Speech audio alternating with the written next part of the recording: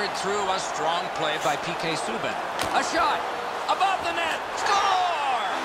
Two straight goals.